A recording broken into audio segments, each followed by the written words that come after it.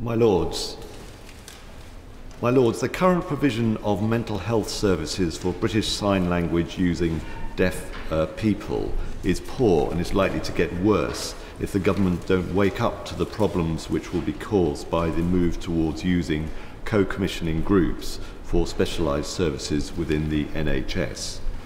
My Lords, last March I held a similar debate on the physical health of deaf people.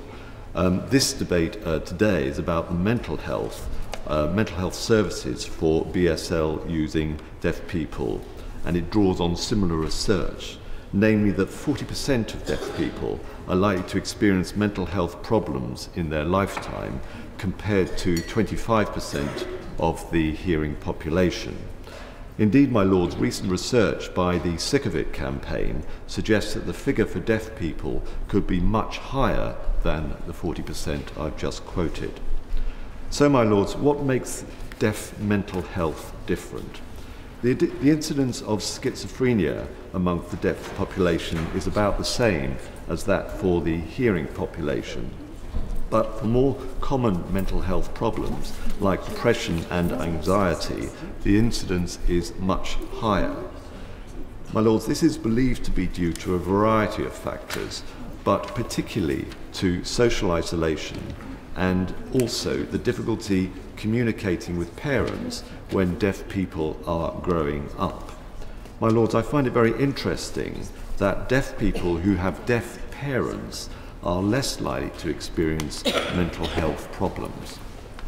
Uh, my lords, a deaf person with a broken leg should be able to receive good care at their local hospital, provided a BSL interpreter is used.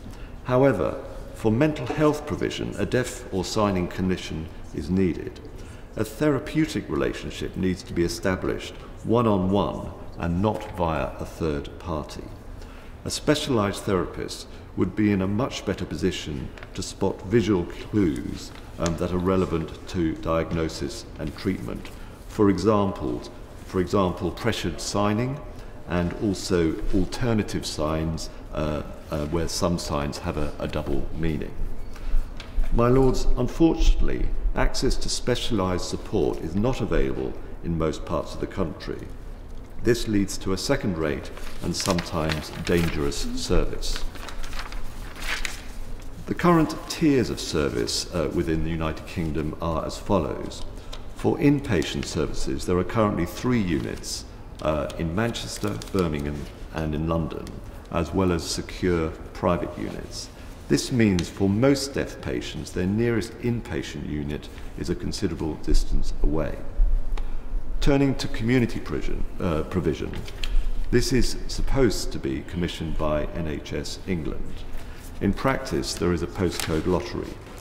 Deaf people in most parts of the country have no access to a specialised community service. The result is that deaf people are dependent on assessment and treatment from non-signing hearing professionals. This frequently leads to misdiagnosis, which can in turn exacerbate the initial problem. The lack of community teams also means that when deaf people are inpatients, they also have to they often have to stay longer than necessary in hospital because discharge is difficult because of the lack of community support. My Lords, turning to psychological therapies, the National Improving Access to Psychological Therapies, IAPT, programme worked with strategic health authorities and primary care trusts to train deaf IAPT therapists. These therapists were employed by the charity Sign Health and commissioned by the PCTs to provide a regional and or local service. However, since the transfer of commissioning, these contracts have started to come to an end as co-commissioning groups have not been renewing the contracts. Indeed, as I speak, my lords, the BSL IAPT service in Bristol, BANES, South Gloucestershire, Swindon and Wiltshire has announced that it is to close the, close, the service will close at the end of March. It seems the CCGs are going back to commissioning IAPT services individually. As a result, there is no mechanism for them to join together again to commission a BSL service as part of the IAPT service. My lords, in this situation, deaf people are usually told by they, their IAPT provider that they can book an interpreter if needed. This is a retrograde step and akin to offering an English speaker therapy with a foreign speaking therapist uh, with an interpreter if needed. While the BSL component may be a minor issue for the commissioners and providers, it is a huge issue for the deaf people themselves. Most will now go back to suffering in silence. So, my lords, this step backwards also means that deaf people can no longer self refer to IAPT services and have to go through their GP, who in practice is often a barrier to accessing this service.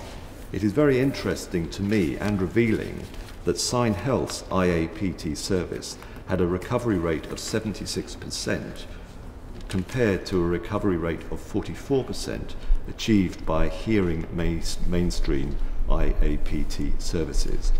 Adding, adding an interpreter to a therapeutic dynamic lessens the chance of a good therapeutic relationship and also adds to the cost.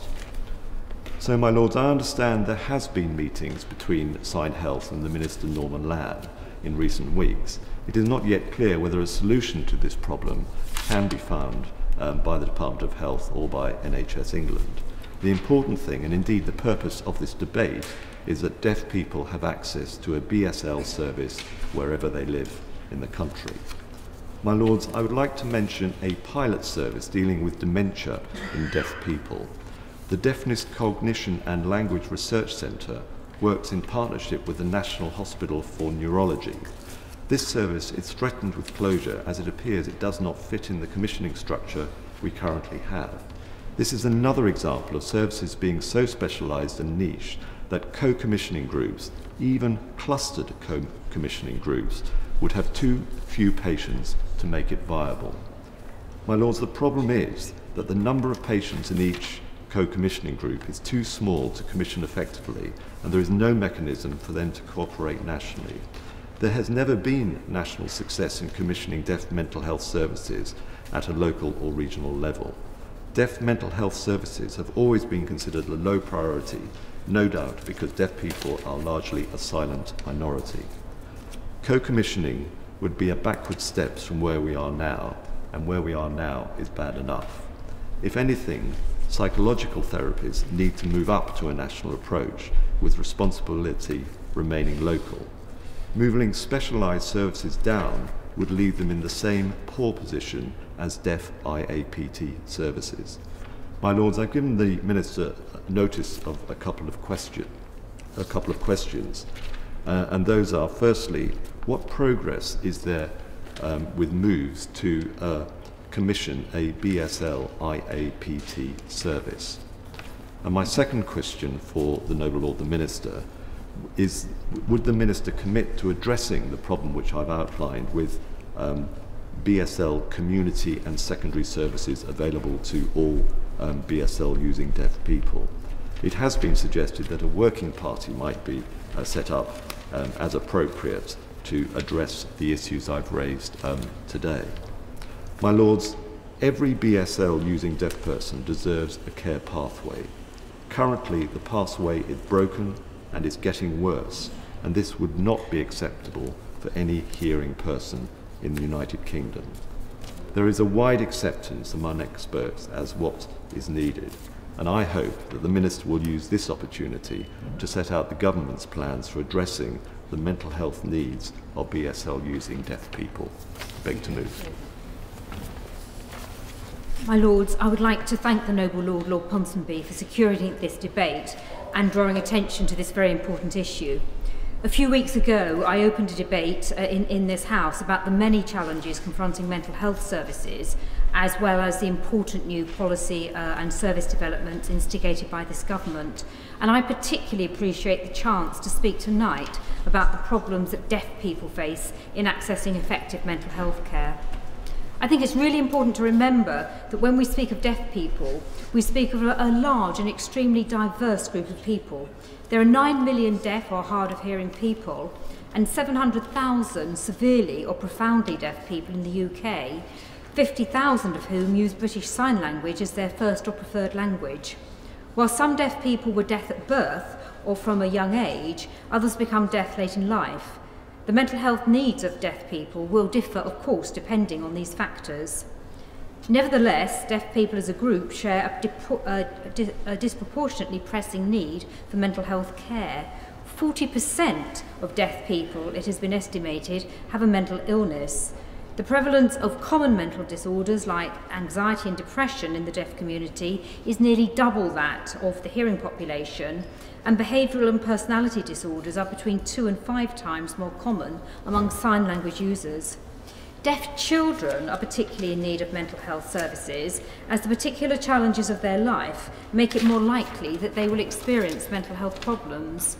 More than 90% of deaf children are from families with no first-hand experience of deafness, which can lead to isolation and troubled relationships with their families. And indeed, it is salutary to note that deaf children are twice as likely to be abused or neglected as hearing children. Let me now turn to the issue of prevention. For many people who lose their hearing as adults, the experience of becoming deaf can adversely affect their mental health. For example, research shows that older people with hearing loss are twice as likely to develop depression as their peers without hearing loss, as well as increased feelings of loneliness and social isolation. Like other noble lords, I'm sure, I'm very conscious of this from the first-hand experience of close relatives. By providing people with hearing aids, we can reduce these risks. Those who wore hearing aids experienced less depression and anxiety, had more and better family and social relationships, and felt better about themselves than those who did not. My lords, it is impossible to avoid the issue of funding, and it is complex.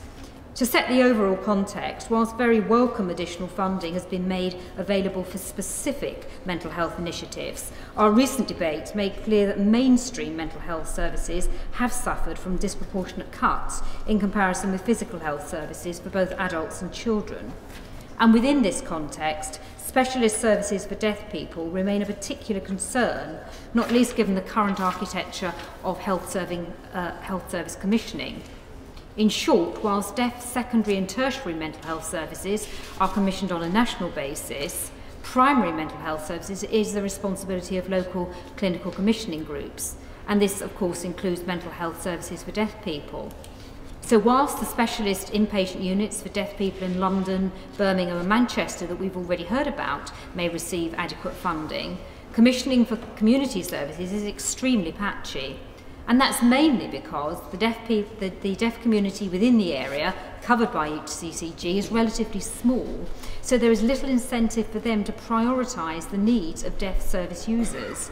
And the result of this is that only a handful of, of services receive local uh, commissioning. Let me try to bring this to life a little. Until last year, deaf service users were able to access a deaf therapist fluent in sign language uh, through the British Sign Language Healthy Minds IAP service uh, developed by the charity Sign, uh, Sign Health, already referred to by the Noble Lord Lord Ponsonby, and indeed with funding from the Department of Health. And that, that programme, as we've already heard, was extremely successful and nearly doubled the, the rate of recovery from 44 to 75%. I think that's an extremely uh, impressive and important figure. But in the restructuring of the NHS, clinical commissioning groups were often hesitant to commission the service, preferring to use hearing therapists with interpreters, even though the evidence shows this is not as effective. Meanwhile, the service was often considered too small to qualify for national commissioning. And because of these challenges, the service is ra rapidly shrinking and some staff have been made redundant. So could uh, my noble friend the Minister say what the government is doing to support CCGs to increase the data collected in their local community to help inform mental health commissioning for deaf people? And my lords, in such, in such circumstances, deaf people seeking talking therapists, something I greatly support myself, often have little choice but to resort to mainstream services. Deaf people are often not given adequate um, access to interpreters, as we have already heard. And indeed, a, a 2012 survey of the British Sign Language users found that 68 of, of respondents did not get an interpreter for their GP appointment, despite having asked for them. Many others must wait longer for treatment and travel further in, in order to secure access to an interpreter. So could my noble friend the Minister please indicate what plans the government have to increase the provision of medically skilled interpreter services? And my lords, even when there is access to an interpreter, going through therapy with, with an interpreter can present significant challenges. That 2012 survey I, I referred to indicated that 41% of deaf patients felt confused following their appointment as they had trouble understanding the interpreter. And this may be for cultural reasons. I think it's important to recognise that the life experiences of deaf people differ in ways that go well beyond language, especially if they've been deaf from birth or at a very young age. And indeed, the relationship between a hearing therapist uh, and a deaf service user can be made more difficult by these cultural barriers as well as linguistic ones. And it's no surprise or indeed criticism that mainstream health service, uh, mental health service providers often lack the specific expertise necessary to understand the unique life experiences of deaf people and, and to work effectively with deaf clients. It's just that a specialist service requiring specialist expertise is needed. Moreover, the inclusion of an interpreter as already raised by the Noble Lord Lord Ponsonby, inevitably changes the dynamic in a therapeutic situation in a way that can be detrimental. For example, the sorts of topics discussed in therapy can be difficult enough to tell to a therapist uh, without having to wonder whether one's words will be faithfully conveyed by the interpreter. And as the deaf community is small and close knit, there's a real chance that the patient will know the interpreter and because qualified interpreters are hard to come by, the options are limited and there are few alternatives if a patient is uncomfortable with his or her interpreter. My lords, as we've already heard, there are specialist um, inpatient psychiatric units for deaf people in London, Manchester and Birmingham. Um, but the quality of, that, of the care that deaf people receive is adversely affected by a lack of community resources. And a recent report by the National Deaf Mental Health Service has shown that deaf adults in specialist and general uh, inpatient programs were in hospital for twice as long as hearing patients, not because of the actual clinical need, but because the community services they needed upon discharge were not available. And this current dearth of specialist services for deaf people, I would argue, um, is not inevitable. Uh, as Dr. Sally Austen, a specialist for deaf people with mental health problems and a former chair of the British Society for Mental Health uh, and Deafness, has pointed out, if specialist deaf, deaf services were to include, also include partially deaf people, the economies of scale would change. And Dr. Austen has also suggested that what's called telemental health including things like online services, may also provide a, a solution for deaf pa patients with poor access to appropriate pr uh, providers from having to travel very long distances. My Lords, this is an extremely important discussion and yet not one we've often had. The last government strategy on this topic was back in 2005. And if nothing else, what we've already heard, and, and I know there's more to come, about the wide array of challenges that deaf people face in securing uh, access to mental health care, surely that should convince us of the importance of updating our aims for uh, this sort of health care provision in, in the future. So could I finally ask uh, my noble friend the Minister what plans the government has to update the 2005 Mental Health and Deafness towards Equity and Access document so it can become the cornerstone of all our work? My Lords, the UK has a proud history of providing excellent mental health services for deaf people. It will be a tragedy to neglect that history by failing to give deaf people the access to therapy they so clearly need and deserve. Yeah. My Lords, I declare an interest as a trustee of the Ewing Foundation for Deaf Children. I'm grateful to the Noble Lord, the Lord Ponsonby, for again raising for debate important issues on deafness but I rather disagree with the Noble Lord on his definition of deafness. It should not be defined as the characteristic of those who use sign language, because there are a host of elderly deaf people who don't use BSL, and there are many children born with a profound hearing loss now have cochlear implants, which, although leaving them with still with significant hearing impairment, enables them to communicate in spoken languages. Similarly, improvements in hearing aid technology have made it easier for other deaf children to communicate in a spoken language. The Oxford English Dictionary defines deaf as lacking the power of hearing or having impaired hearing. And that is the definition, the definition we should use. A definition that depends on BSL implies that BSL is the only char- characteristic, and that is problematic. Today's debate is particularly important because there are a lot of evidence of depression and mental health Ill- illness issues among deaf people, including those who use sign language. All the evidence suggests that hearing loss can substantially increase the risk of mental health problems. Anxiety, paranoia, and depression are particular risks. Those with hearing loss are overrepresented among samples of patients suffering from paranoid psychosis in later life. And older people with hearing loss are more than twice as likely to develop depression as their peers without hearing loss. So, my lords, it is important that the appropriate mental health services are available for deaf people and that the right steps are being taken to improve outcomes. I know that some will argue that because not everyone can use sign language, deaf people who use it may experience depression and mental health issues even more acutely. Deaf people using sign language to communicate may have fewer opportunities to access appropriate specialist services too. And there are still a few children who use BSL as their only language, who would struggle to access mainstream mental health services because of language barriers. There is no doubt, this no doubt accentuates the feelings of frustration. There is research showing that deaf children who live in families where BSL is the only language are less likely to experience mental health problems than deaf children in families that use English. If you can't communicate with your family, then it's little wonder that you feel isolated. However, that research is dated. My lords, new technology, like digital hearing aids and cochlear implants, are reducing the need for the BSL language. And early detection is further, further breaking down the reliance on BSL. We have to remember one crucial point in this debate. There is a whole range of deafness, and not all the people on the spectrum use BSL. But new technology and early detection does mean that many more can take a full and active part in a hearing society, while still being able to use sign language if they choose. Doors are opening, and many deaf people, or partially deaf people, can enjoy the best, best of both worlds rather than be becoming frustrated by the limitations of just one. Being able to access both deaf and hearing communities is going to be good for the mental health of those with hearing difficulties.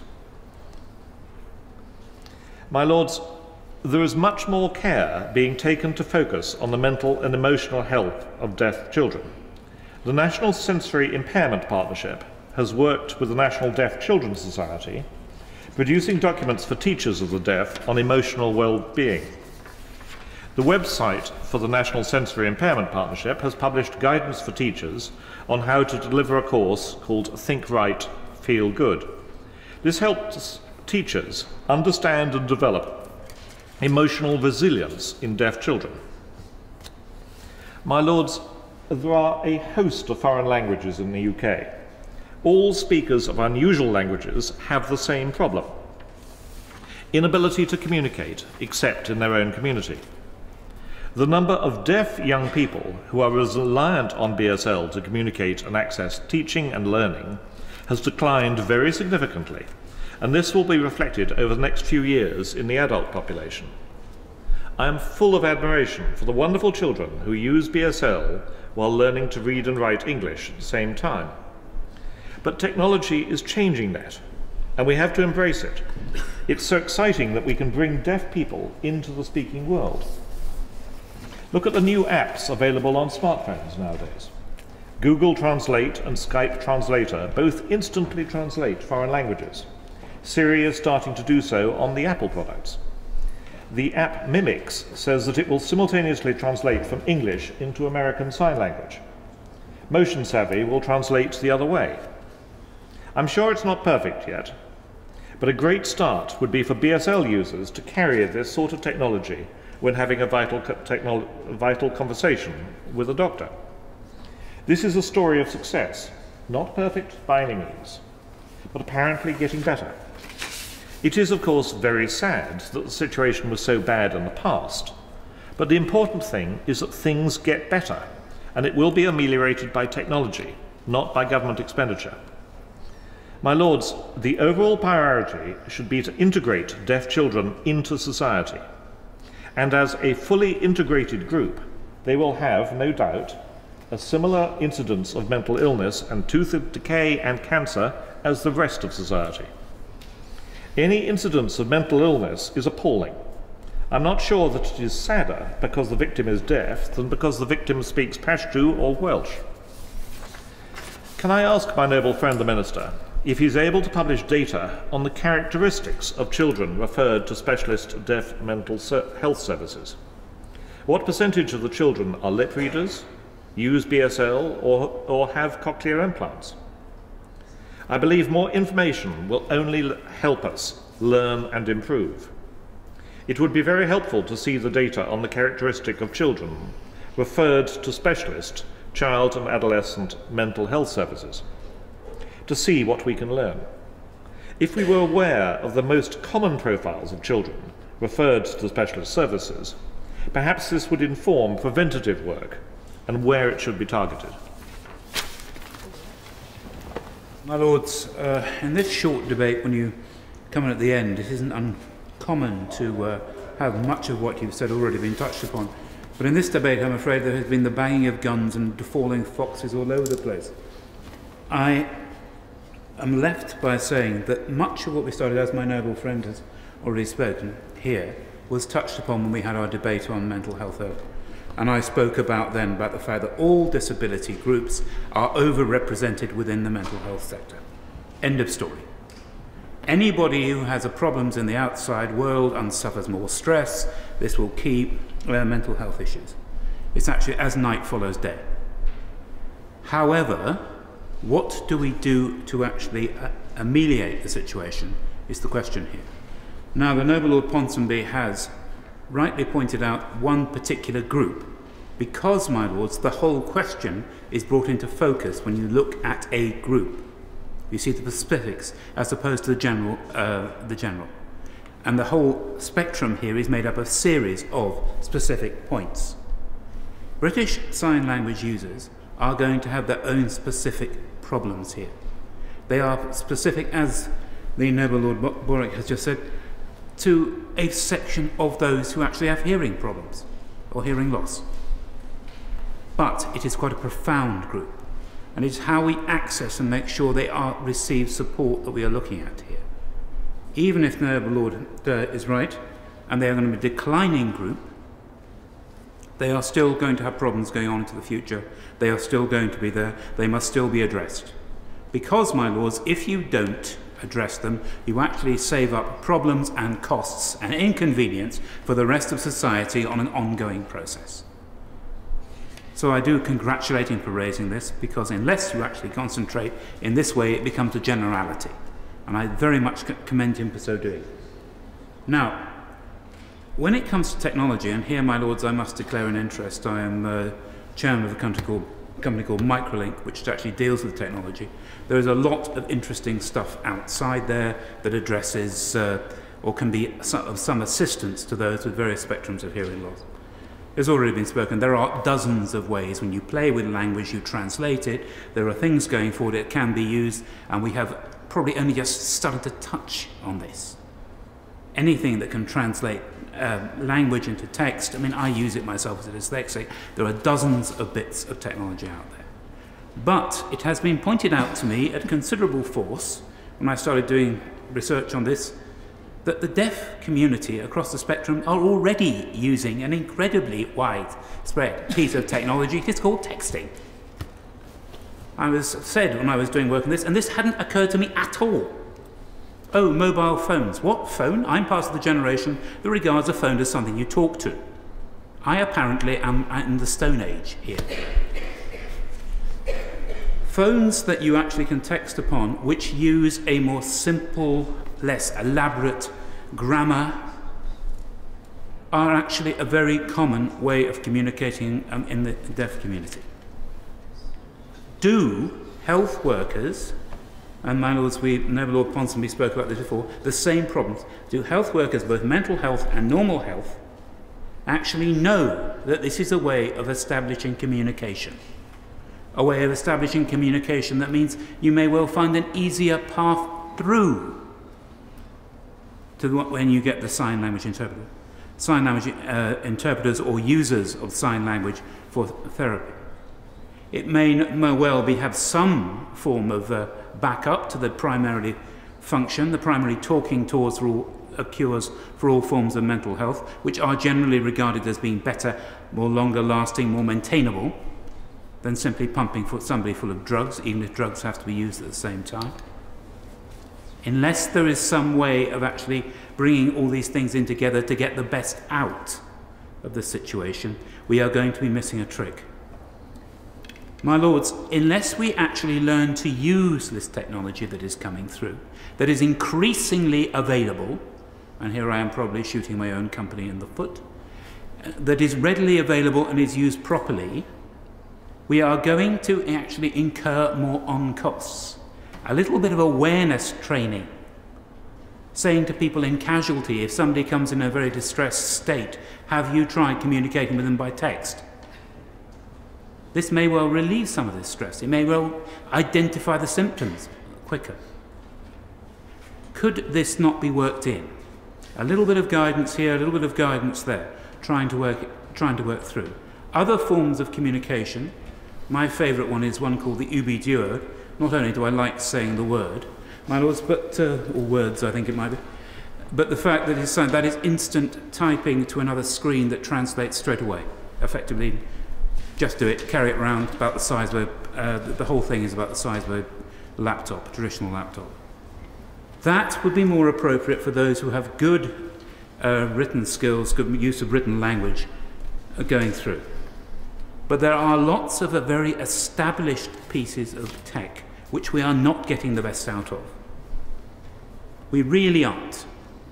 We will always, I feel, for the foreseeable future at least, need people who are uh, counsellors who are skilled using the sign language, the specific language with its rules of grammar and nuance and indeed cultural references. But we may well be to support them and take some of the stress off them by using the technology at the same time. My lords, when all's said and done, the technology is generally cheaper. If we concentrate and make a funnel through to those very valuable and in times irreplaceable people, we will surely be doing all of ourselves a favour. Lords, um, I, I, would like to add a couple of, couple of points to this debate um, from my experience as um, a psychiatrist. We've heard that deaf people continue to face unacceptable inequities in access to mental health services, and that this is particularly the case for the estimated 25,000 deaf people in the UK who use British Sign Language as their first or only language. And deaf BSL users from black and minority ethnic communities or who have additional needs arising from comorbid visual impairment or intellectual disability encounter even greater obstacles to accessing mental health services. My lords, we've heard that deaf children are more likely to experience emotional, physical or sexual abuse and that these are, are contributory to later mental health problems. But deaf adults are much less likely to know how to report suspicions of abuse, and, and thus children living in deaf communities are more likely to have their experience of abuse go unnoticed and unreported. Um, the community interest company, Books Beyond Words, that I chair, has been commissioned by the NSPCC to help them develop pictorial resources to um, improve uh, the reporting of such abuse um, to organisations such as the NSPCC. My Lords, we've heard that many deaf people leave GP consultations with no understanding of what went on and consequently avoid going to see their GP altogether. Research has shown that a shocking one in seven people with hearing loss have missed a healthcare appointment because they did not hear their name being called in the waiting room. These access problems continue despite the Disability Discriminations Act's requirement for reasonable adjustments to be made, and they are compounded by a lack of deaf awareness training for professionals working in healthcare settings. Within mainstream mental health services, few staff possess the BSL skills and experience needed to work effectively with deaf BSL users. And in, in addition, mental health services frequently just fail to arrange for BSL interpreters to be present at appointments, often relying on family members, including children, to act as informal interpreters. This practice is unjustifiable, particularly in mental health services, where sensitive and personal issues, sometimes including abuse, may be disclosed. There's an ongoing shortage of BSL interpreters as well, and a lack of specialist training for those who wish to work with people with mental health needs. Can the Minister tell us what steps the government will take to increase the number of BSL interpreters within mental health services? The Sign Health charity, however, highlights that over the last three years they have trained 18 deaf and three hearing BSL users to work as psychological well-being practitioners in several geographic regions, but only seven are currently employed, reflecting a lack of recognition of the need for their services.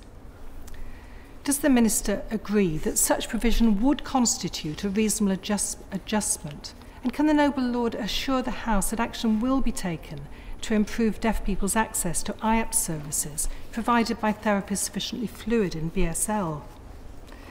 Deaf people are also overrepresented in secure mental health settings and are thought to be overrepresented in the prison population, which may reflect a prior failure to address their mental health needs at an earlier stage in their lives. It suggests the need for specialist prison in-reach services so that deaf people with mental health needs can be identified and supported. I wish to highlight the importance of addressing the social determinants of mental well-being in deaf people, the exclusion, isolation and barriers that deaf people experience in education and employment and in the community can negatively impact on their social and emotional well-being, along with their education and employment outcomes, thus perpetuating the cycle of adversity which puts them at greater risk of mental health difficulties. Can the Minister assure the House that recommendations to address these factors will be included in the Government's forthcoming action plan on hearing loss? I had um, a couple of examples given to me by a psychiatrist working in one of the National Deaf Mental Health Services, particularly about uh, children that he visited in mainstream schools, one child using only BSL in a mainstream school where nobody knows BSL. Um, and another school where the young person in a special school whose only language was BSL was in a class with seven young people with learning disabilities, none of whom were deaf or knew BSL. This is clearly unacceptable. And um, I look forward to the Minister's response and thank uh, the Noble Lord Lord Ponsonby for raising these important matters. Well, my lords, I too would like to thank my noble friend for introducing this debate and also to thank Sign Health for their very valuable briefing. Can I say uh, I very much welcome Lord Borwick's uh, input, but I think my noble friend was quite specific uh, in the question he asked. And uh, I fully accept, my lords, that however wide you define deafness, the scale of mental health problems uh, is seriously uh, is serious and deserving of, of, of attention. I thought the noble Lord Lord Addington put it well. Um, the focus on British Sign Language users is valuable in itself but also it's a signal uh, of more general problems. Uh, my lords, um, interesting uh, work published very recently in the BMJ has shown that, uh, I mean, first of all, I think this is well known that deaf adults in the UK occupy poorer socioeconomic positions, have poor literacy, and have limited access to communicate through speech. Um, their health is generally poorer than that of the general population with problem under diagnosis and under treatment of chronic conditions. My lords, as far as mental health is concerned, other research shows that 40% of deaf people are likely to experience a mental health problem. Whilst the incident rate of schizophrenia is probably similar to that of the hearing population, the rate of common mental health problems is much higher. And again, my lords, going back to the BMJ research published uh, only a week ago, um, the rates of depression self-reported by deaf participants was 24% overall, 32% for women and 14% for men. My lords, it, it, does seem to me that in any uh, response to the mental health issues facing many deaf people, what is abundantly clear that at the moment, uh, as the Baroness Lady Tyler uh, said, there is no national strategy at all that one can turn to which will actually describe what kind of services deaf people could expect um, from the NHS. And my lords, I think then that also um, is related to a confusion about what should be commissioned at national level and what should be commissioned at local level. And I have to say, my lords, we are seeing lots of indications that clinical commissioning groups find it very difficult to commission services for what inevitably will be a small group of population uh, in their area. Equally, my lords, I'd fully accept that not all that can be commissioned at a national level. And it does seem to me that um, we need to find a way which will actually help clinical commissioning groups commission services locally for these smaller population groups. So there is much more of a cohesive approach. Left to themselves, CCGs, I think, will not do it. And that really is the real problem that we face, um, alongside the funding issues around commissioning at a national level for specialty services. This is not an easy issue, but, my lords, we have to do better than we do at, at the moment. Well, there was a number of noble lords referred to the position facing specialty services, and I would just like to really add to the points raised by my noble friend uh, about this. I particularly, my lords, would like to raise the question of the Deafness Cognition and Language Research Centre at University College London. Uh, my lords, uh, I understand that they are putting a costed business case together for a national neurological service for British Sign Language deaf users. Uh, and I understand, my lords, they've met uh, with uh, Norman Lamb. Uh, they've also met my colleague Andrew Gwynne, and this does have uh, clearly um, cross-party support. And they are putting a business case forward to secure the presence of a clinic beyond 2015. And I don't know if the Noble Earl would be able to update me on progress uh, in this area. My lords, again, my noble friend and other noble lords have mentioned the improving access to psychological therapies service, which showed very, very promising results um, from the date of its introduction. Other noble lords referred to the outcome measures. This, my lords, has clearly fallen foul of the problem of being delegated to clinical commissioning groups to commission. They are clearly not going to do so. I had the privilege of meeting uh, with Sign Health, Mr. Norman Lamb. We had a very good hearing, and I was left with considerable optimism that some way would be found to fund this. And again, if the Noble Earl were able to give us some update progress on that, I would be very grateful indeed. My Lords, again, it comes back to this point that if left to local CCGs, there is no hope for services that need a contribution from each CCG to make it viable. And one way or another, my lords, we have to find a way for there to be some kind of, of national leadership. And indeed, my lords, if I, I were to ask for one thing above all else, it is that the Noble Earl would see if his department is prepared to produce some kind of cohesive strategy around deaf issues, uh, of mental health issues for deaf people, which I think would then give us some encouragement that we would be able to tackle these issues in a coherent way. Uh, my lords, uh, I must say that I always thought national service frameworks were a very good idea. I'm not sure the current government thinks so. But if we're not to have national service frameworks, we need something in their place. My lords, could I just ask him about the equality duty in relation to deaf people? Does the minister, is he satisfied that the NHS understand their responsibilities under the equality duty? Um, the Noble Baroness Lady Hollins suggested that many staff in the health service are very much unaware of the issues that deaf people, the barriers they face. And I think, my lords, the issue here is that we lack national standards against which local NHS bodies can judge their performance. And my lords, the Noble Baroness Lady Hollins raised the question about reception and waiting room experience.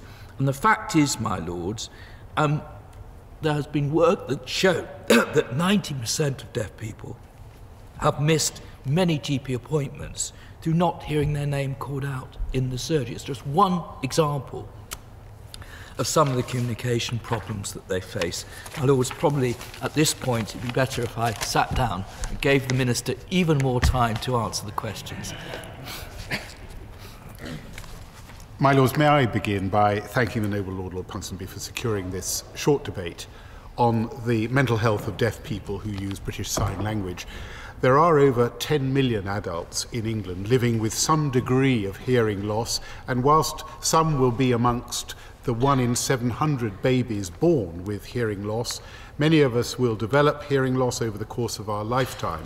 And with an aging population, this figure is only going to increase, with the World Health Organization predicting that by 2030, there will be an estimated 14.5 million people in the UK with hearing loss, with adult onset hearing loss predicted to be among the UK's top 10 disease burdens.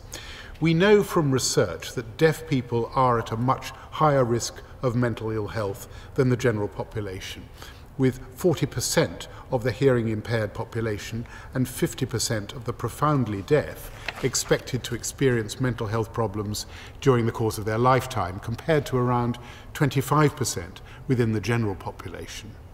It is therefore vitally important that we provide deaf people with appropriate services which support their mental health needs. The government is committed to improving mental health services and ensuring that mental health services have equal priority with those for physical health. Our mandate to NHS England makes it clear that everyone, and I emphasise everyone, who needs it should have timely access to evidence-based services. Over 400 million pounds is being invested over the spending review period to make a choice of psychological therapies available for all those who need them in all parts of England. And we've put in place for the very first time waiting time standards in mental health, a significant milestone on the road to parity. The NHS is a universal service, and I, um, I listened with care to the remarks from the noble Lord, Lord Hunt uh, about equality. NHS England is under a specific legal requirement in relation to tackling health inequalities and advancing equality. The government will hold NHS England to account for how well it discharges this duty. We recognise the importance of deaf people being supported and enabled to communicate through British Sign Language where they wish to do so. Section 20 of the Equality Act 2010 requires CCGs to make reasonable adjustments so that disabled people are not placed at a substantial disadvantage compared to non-disabled people. The reasonable adjustment duty is an anticipatory duty, meaning that service providers are expected to anticipate the requirements of disabled people and the reasonable adjustments that may have to be made for them in advance before any disabled person attempts to access the service in question. Simply put, it is not acceptable for health services not to be equipped to provide communication support for those who need it. Equality legislation means that service providers and public bodies must provide a reasonable adjustment to their services to meet the needs of their clients when it's reasonable to do so. This may be the provision of interpreters or services delivered in BSL. In September 2013, the Prescribed Specialised Services Advisory Group, PSAG, considered a proposal from Sign Health for NHS England to commission psychological therapies for deaf sign language users. The PSAG felt that although the provision of IAPT services using BSL was clearly complex, it did not meet the requirements for a specialised service commissioned directly by NHS England and therefore responsibility for commissioning psychological therapies for deaf sign language users should remain with clinical commissioning groups. The PSAG recommended that CCGs be signposted to the relevant organisations and informed about the services and support they can provide to deaf patients. From his remarks, uh, the Noble Lord Lord Ponsonby was clearly in favour of community and secondary deaf mental health services being commissioned as a specialised service. Uh, he will understand, I'm sure, that any proposal of that kind would need to be considered by the PSAG. Um, however, uh, as regards um, NHS England retaining responsibility for existing specialised deaf mental health services, even if co-commissioning were introduced, I can give uh, him an assurance that at this time NHS England will retain the responsibility as set out in the mandate and the manual for prescribed services for the specialised uh, deaf services. Future collaborative commissioning arrangements have not been excuse me, have not been confirmed as yet. But that will not alter NHS England's responsibilities as the responsible commissioner. But we know that more needs to be done. And as the Noble Lord, Lord Ponsonby mentioned, my honourable friend, the Minister for Care Services, Norman Lamb, recently met with Sign Health. And I would like, uh, like at this point to pay tribute to the exceptional work of Sign Health in promoting the same sort of access to healthcare and health information for deaf people as hearing people receive. I, I myself have visited uh, Sign Health on more than one occasion. Sign Health impressed uh, upon uh, my honourable friend the importance of psychological therapies for deaf people through the Improving Access to Psychological Therapies service. Since the meeting, officials have been working to develop proposals in support of the commissioning and provision of psychological therapies for deaf people in England. The Noble Lord Lord Ponsonby asked whether a working group could be established to look at this issue further. I um, I believe that that is a sensible suggestion and I'm happy to commit to it. In the meantime, we will be reminding clinical commissioning groups of the importance of commissioning IAPT services that are accessible to British uh, Sign Language users. My Lords, we're committed to delivering health outcomes that are among the best in the world for people with hearing loss. We've made considerable improvements over recent years, including the rollout of a national screening program for newborn children, significantly reducing waiting times for assessment and treatment, and greater choice of hearing aid services, for example, through independent high street providers. In, NHS England is developing a new accessible information standard which will provide clear guidance to health and social care organisations on the steps they need to take to ensure that disabled patients, carers and service users receive information in appropriate formats and communication support if they need it. This will include the provision of interpreters or BSL users for deaf people. NHS England have worked closely with Sign Health in the development of the standard, and Sign Health have been offered, uh, have uh, have offered uh, advice about particular aspects of the standard which relate to deaf people. It's anticipated that the standard will be published in the spring and that organisations would then have 12 months to implement it. Alongside the statutory information standard, NHS England will also publish guidance on making reasonable adjustments to meet the communication needs of service users with disabilities. As well as an information standard, NHS England, alongside the Department of Health, are developing an action plan on hearing loss, which will identify the key actions that will make a real difference to improve the lives of all those with hearing loss. The action plan is in its final stages of development with a view to publishing it uh, soon. And I hope that goes some way to address the question from the Noble Lord Hunt about uh, a national service framework or the equivalent thereof. Um, Turning to some of the questions I was asked, and I, I shall, of course, uh, write to those uh, noble lords whose questions I'm unable to answer in, uh, in the debate. Uh, my noble friend, uh, Lady Tyler, uh, asked me several questions. First of all, about the 2005 document, Mental Health and Deafness Towards Equity and Access. Um, I, I have to tell her there are no plans to update uh, that particular document. But she also asked me, as did the, my noble friend Lord Borwick, uh, about what we were doing to support CCGs to increase the data collected in, in their local community to help inform mental health commissioning for deaf people.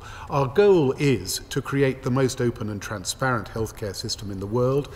To support this ambition, we need to build a truer, more up-to-date picture of mental health and well-being, both nationally and in each area. The current level of information collected on IAPT represents the gold standard of data collection. We have robust information on the numbers of people accessing services, how long they wait, how many recover or improve as a result of treatment, and the cost of these services, a genuine world first in mental health. Our ambition is to bring this same standard of information to all mental health services uh, over time.